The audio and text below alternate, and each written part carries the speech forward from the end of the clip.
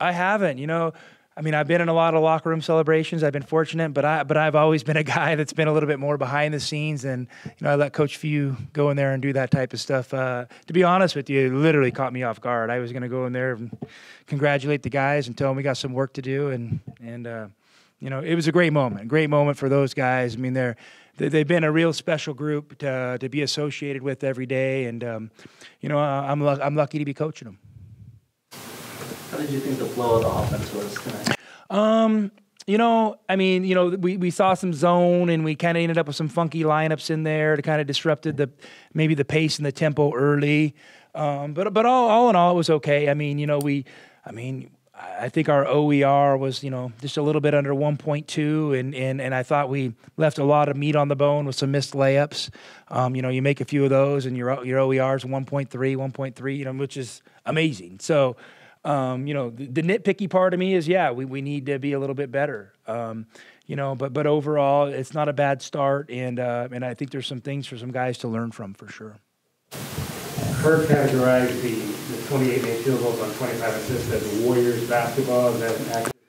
Yeah, I mean, sure. I mean, yeah. I mean, uh, obviously, we, we really value sharing the ball and moving it around, and um, and you know it was great. I mean, it, it's great when teams play with, with that type of joy and togetherness. I think it's fun for the fans, it's fun for the coaches, it's fun for the players, and um, you know, I mean, 25 out of 28 maybe is a little bit of an anomaly, but um, but all in all, it, it's definitely uh, a step in the right direction. The, the biggest thing I was happy with today overall was just I think we had six turnovers, and you know maybe we had some that were felt like you know were close to turnovers. I mean DT threw some of those lobs. You know I, I don't know who would have caught them. You know I mean they were so high, and uh, and and and and again it's it's part of just maturing as a team. You know and Kim missing the dunk. You know that that type of stuff. I mean at the end of the day we we just want points, and and and I, and I, I don't need style points. We just need points. So those will be conversations we'll definitely have. Looking at Kerr Fews' game, 17 points, but more uh, more importantly, five assists, no turnovers. How do you think he performed? At? I thought Kerr was great. I mean, Kerr. I mean, I, I've you know been steadfast in my belief in him, and and I think he's going to have a really good year, and I think he's going to be one of the better point guards in college basketball. Um, he, he really gets us going, and, and and on top of all the good things he does on offense. Um, I think there's still room for him to grow, which is awesome on that end. But I think he's a really good defender. So uh, I, I, love having him out there, and I feel good, you know, every second he's out on the floor. What do you say to a guy like Bennedict when he has an off night like this? Um, you know, it's going to happen. Um, you're a really good player. You know, let's let's step back and take a look at maybe maybe where some of the struggles were and and address them. You know, and and, and I think most of Ben's struggles were you know finishing, and you know it, it's it's a, it, finishing's a lot tougher than it looks.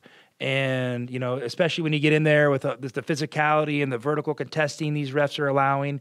Um, you know it, i think if he makes a few of those lay-ins you know we all feel a little bit different. But but all in all i mean he's getting right to where he needs to be. He just has to kind of refine his plan in, under the lights in the moment and make sure he's you know getting you know baskets or free throws when we get the ball that close to the rim is that what you kind of want to see from Oumar when he's out there with knocking people down and well, I don't want him knocking people down because those are offensive fouls. But but but yeah, I mean for sure, I want Oumar to become a, a little bit more of an enforcer. And Oumar's had a tough journey, and, and, and he's been with me for a long time, and, and it hasn't been easy. And, and I love him for sticking with it. And it didn't start easy today. And you know he he had a tough scrimmage at St. Mary's, kind of battled back. Then we kind of got on him, and he really picked it up the next couple weeks in practice and was getting better, I mean, making real progress. And you can see his body changing. You can see his his his production on the court changing. And then today, you know, it's funny that first game, he, the first thing or two didn't go right for him, and I think he gave up a free throw block out right when he got in the game, and, and maybe another mistake.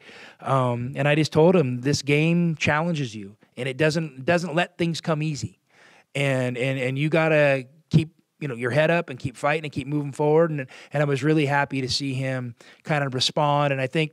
Justin threw him a lob, you know, and he, he kind of went up and caught it and then came down and dunked it, which was huge progress for him. So um, things to build on for sure. Yeah, it was great. It was great to see him, you know, just be a physical force and uh, and, and, and a rim protector and a and, and rebound above rim and, and finish shots. And I think he did a great job shooting his free throws.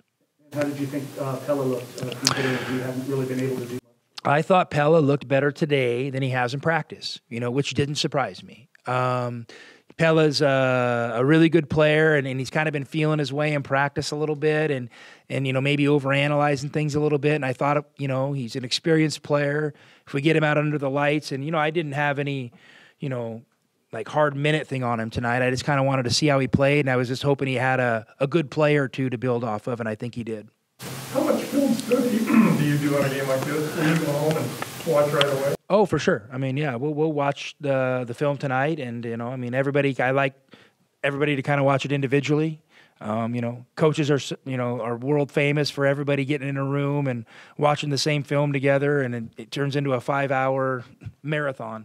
So we'll all go home with our families, watch it individually, kind of get our notes and our thoughts together, and we'll, and we'll you know get together you know tomorrow mid morning and kind of you know debrief on the game, and then you know the great thing about college basketball is you have one coming up three days later. So you know we'll we'll start what can we get better at and what can we learn from the last game and, what do we got to do to try to find a way to win the next one. What impresses you most about the way Kerr has done? Uh, just got great feet. Um, you know, great activity, great energy. He's tough. He's gritty. You know, and uh, and you know he's got a knack for legitimately taking charges. And uh, I mean, he's you know, I mean, he has maybe the best charge taking percentage I've ever seen. I mean, it seems like he's 80, 90% of the time, you know, he's getting charge calls, which is, and, and they look like charges to me. So I'm, I'm, I, I love having him out there. I mean, and that, and we put him on the, you know, their best player to start the game, the cone kid, and he, he bird dogged him. He did a great job staying all over him. And then we switched to put some size on him with DT, which is, you know, a great, you know, to be able to pass the baton to the next guy. And, and I thought it was they, they they they but the combination of who we put on him and how we guarded him, I thought was really effective. Who does Kerr remind you. Oh my goodness, Kerr reminds me. I mean, you know, I mean, Kerr. I mean, the easy ones. You know, T.J. McConnell, Kevin Pangos. You know, those type of guys. They play hard, and uh, you know, maybe has some of T.J.'s grittiness and Pangos shooting, and uh, you know, and and and I hope he continues to learn to get those guys, you know, passing and feel for the game, which I think we're getting close on overall, you, have very good contributions from the guys who were here last year. I mean, is that maybe not a surprise? Yeah, I mean the the guys. I mean, I, I've, I mean, I've told you guys from day one, and it wasn't lip service. I mean, it was really important to get a lot of the guys back. You know that that were here last year, and those guys, you know, were well coached. They had experience as young players you know, and I'm sure there was a lot of growing pains last year, and it was good to just get get him a foundation of experience um, and then coming into this year, we were able to build on it, and uh, and we're going to continue to build on it. And and and guys, I think we got a great core group, you know, that can that, that can get Arizona basketball to where everybody back to where we want to be, you know, in, in the next you know two to three years. And and and, and obviously, we're going to give this year everything we got, and we're going to see what we can squeeze out of this year. But we got a great nucleus moving forward. Kerr said you you encouraged him to wear the headband. Is that? Probably not, no. But uh, but you know what? Hey, I, I, just tell Kerr this: like Kerr has some swag. As long as he's he plays with confidence, he plays with high effort, and he plays with intelligence. Okay, then I'll I'll let him be swaggy. Okay, but if, if he doesn't play with intelligence, okay, he doesn't play with great effort. Okay, then then he can't wear the headband. So th- that that's the rule. Mean, you, you have pretty loose rules on, as individual stuff they want to do like that, headbands or shoes or. I mean, I mean, listen. I mean, tattoos. I can't have any. I mean, that's their their business. I mean, uh, but but as far as like that type of stuff, um, you know what's crazy? I don't even notice it. I couldn't tell you what pair of shoes anybody wore today. I couldn't have told you Kerr wore a headband. Um, I, am here to watch a basketball game and coach the team. And you know, I mean, if if I start to notice it, then it's probably not a good thing. Um, so, but but all in all, as long as they're respectful of the game, their teammates, our program, you know, I have no problem with guys, uh, you know, individually expressing themselves. So after what you said the other day, in terms of you don't really get nervous on, on game days, were there any nerves? No, no, not really. I mean, I took a nap at home, woke up a couple hours for the game, jumped in the shower, came down here, watched my son's game in my office, and then. Uh, went down, talked to the team about 30 minutes before the game, and let it rip. You know, I mean, you know, like I told you, the game's going to start at 8:30. So, I mean, me being nervous and uptight all day, I don't think that does anybody any good. How's your son doing? They won. They won. So he's he's doing great. He's a freshman, going through things a lot of freshmen do, finding their way, trying to find a way to get on the court. But uh, but they won. He texted me and he was really happy. They just told us right now we had 25 assists. So that's what we like. We like sharing the ball, playing running gun basketball. You know, Kerr got hot.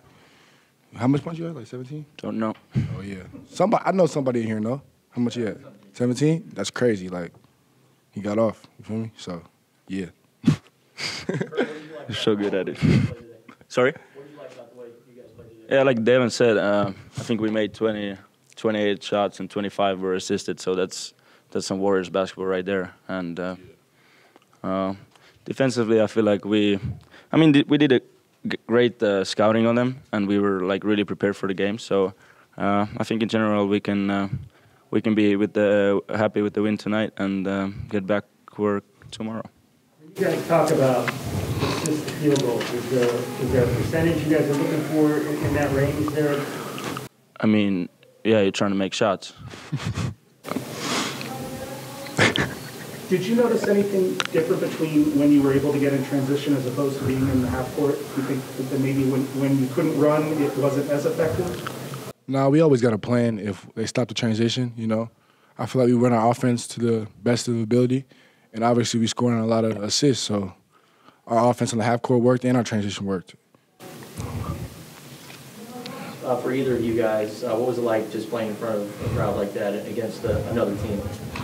Man, Red Blue? I loved it. Like, I see why, like, like this is why you come to Arizona for stuff like this. Like, packed out house, doubleheader, you know, fans is out there screaming our names. It's crazy. Like, even though we had an exhibition, it's still like this was a real good feeling, you know. Like we've been waiting for this all our lives. Last year, it really like changes like how we play. Like, I'm an energy guy. The crowd get into it, I get happy. Like I like that. And then he gets a few threes, the crowd is screaming boom, you know, like he don't keep shooting. What was that experience like for both of you guys playing last year, where it was completely empty the whole time? Yeah, I mean it was day and night. Uh, uh, last year, obviously no fans. Uh, kind of, I don't know. It was super, super weird to even like play basketball, like all this mask situation and whatever. And plus, I feel like we have a lot of guys on the team. If if the fans get behind us, they get they get themselves going. Uh, I'm a really emotional guy. Dalen's a really emotional guy. Ben, Zoo, even Zoo gave some emotions. So if Zoo is giving some emotions, that means that crowd is doing something right, and he's doing something right too. So yeah, crowd. Is that something you don't see out of Azuolas too much?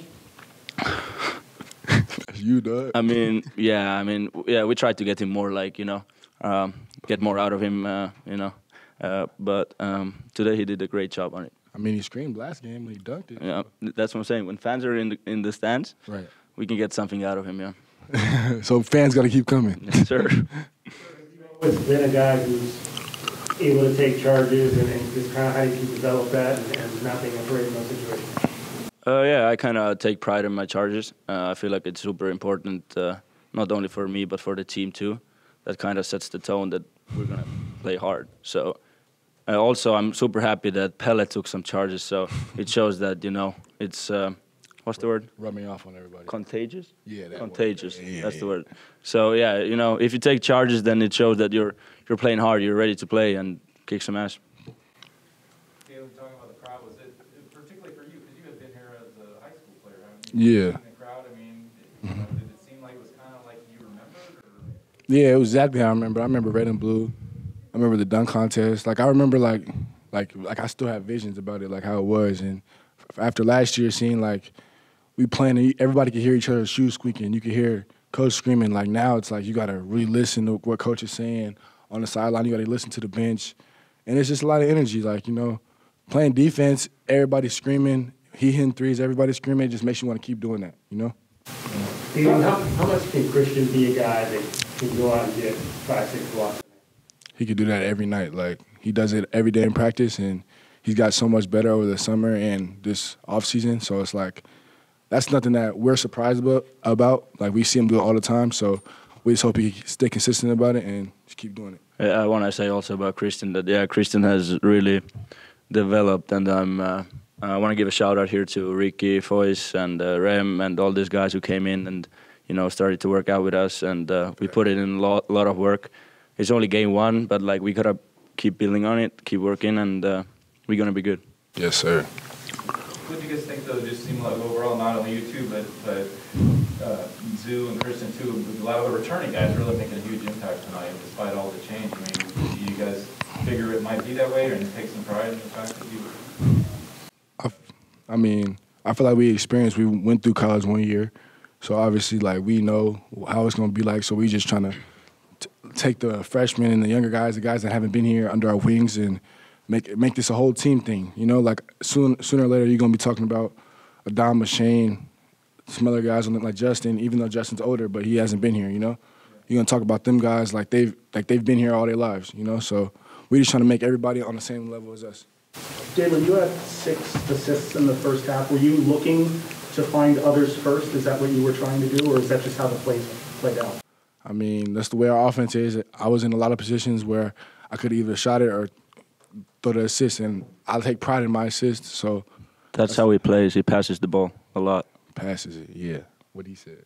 How much of that is that, the system, Dalen? I mean, you had that potential, it seemed like last year, that- that's why you started a lot, I think, uh, just that, that you had that ball handling. I mean, is it Mhm. coming out more in the system, or is it a matter of you just having more experience and more comfort?